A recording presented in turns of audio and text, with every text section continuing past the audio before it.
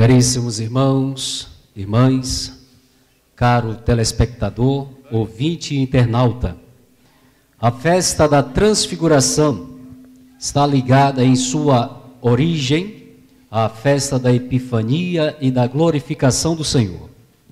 Pois lembramos que na Epifania Deus se manifesta à humanidade na simplicidade do nosso rosto humano e na sua glorificação eleva a nossa humanidade até a sua divindade, fazendo-nos, portanto, compreender na festa da transfiguração de hoje a total presença de um Deus de rosto humano.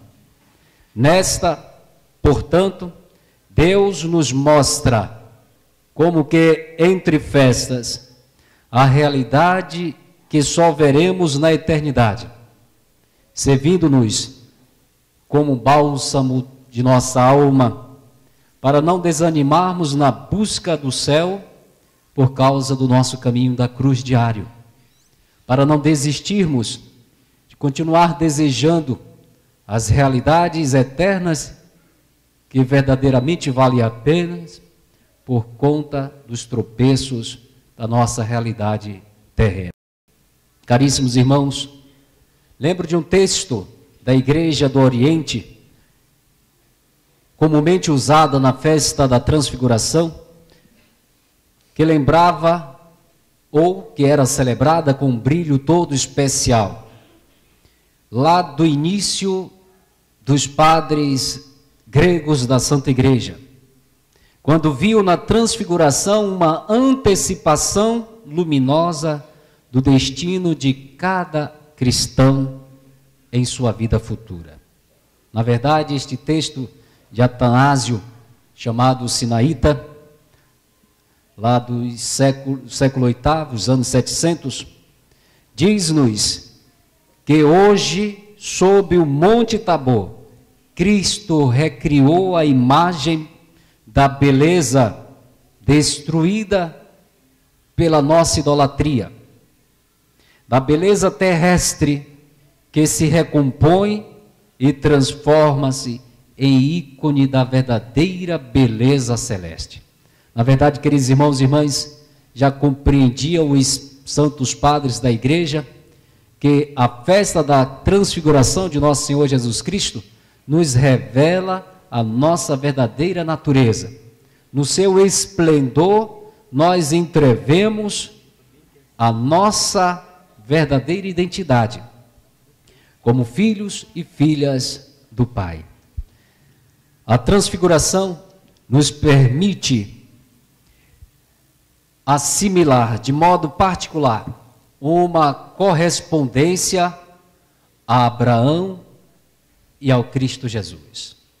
Abraão, o pai da fé, que provado, sobretudo no texto proclamado nesta liturgia, pelo próprio Deus, demonstra na sua total confiança ao Senhor os caminhos que nos levam ao céu pela sua obediência. Pedido que entregasse o seu próprio filho, que o sacrificasse. Abraão não mede esforços, não faz questionamentos, porque sabe que, embora ame o seu filho, ele ama ainda incondicionalmente mas ao próprio Deus, o seu Criador. E neste gesto de obediência, sem questionamentos, cheio de confiança, ele vence aquela que era iminente destruição, a própria morte. Em Abraão, a morte torna-se nova possibilidade de vida. Vida somente sustentada aos olhos de Deus. Cristo, na sua correspondência com Abraão, não só vence a morte, não só a transforma, mas a destrói. Em Cristo a morte deixa de ser morte. Quando anunciando no caminho para Jerusalém, conversando com seus discípulos a sua paixão e morte, e que estes ficaram profundamente perturbados. Jesus os leva ao Monte Tabor e se, des, e se transfigura diante deles, para mostrar que o caminho da cruz, antes anunciado, é iluminado pela luz da glória do Senhor. Nenhuma cruz é possível ser experimentada se ela não, não nos trouxer a certeza da vitória da cruz do Senhor. Portanto, estes dois momentos de profunda obediência no exercício da sua missão fazem-nos compreender que em Cristo todo cristão já é um vencedor, pois participa já aqui na terra, mesmo que parcialmente, de realidades que só viveremos como cristãos lá no céu. Tanto, queridos irmãos e irmãs, na verdade, a festa de hoje, da transfiguração de nosso Senhor Jesus Cristo, quer ser uma catequese aos discípulos de cabeça dura, àqueles que estavam com o coração angustiado pela certeza da cruz. Quer ser uma catequese para cada um de nós, nas palavras do Pai que nos diz: Este é o meu filho amado revelando a sua verdadeira identidade. Escutai-o. Portanto, ouvir o Senhor, deixar-nos mover pela sua palavra, obedecer à proposta de novos desígnios, é o caminho que nos leva pela cruz à participação da glória do Senhor. Portanto, que nossa consciência de participação neste incondicional mistério da cruz de Cristo que antes já nos dizia: quem quiser seguir-me, tome sua cruz, renuncie-se a si mesmo e siga, e siga-me, se alimenta da certeza de que também nele participaremos da sua glória.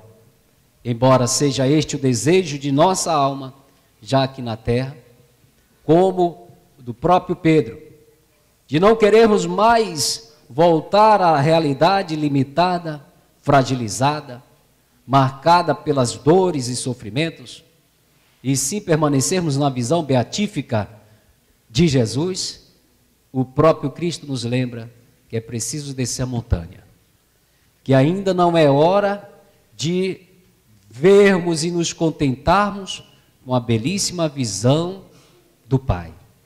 É tempo de nos aconchegarmos uns aos outros e anunciarmos àqueles que já perderam a esperança, cujos direitos foram negados, cujo, cuja alma está abatida, submetida, de que é preciso ter coragem, pois se Deus é por nós, quem será contra nós? A certeza do cristão, portanto, que caminha peregrinando para a glória do Senhor é de que Deus tem sempre um projeto, um propósito claro na vida de cada um de nós. Pois se Ele é por nós, nada e ninguém poderá ser contra nós. Louvado seja nosso Senhor Jesus Cristo.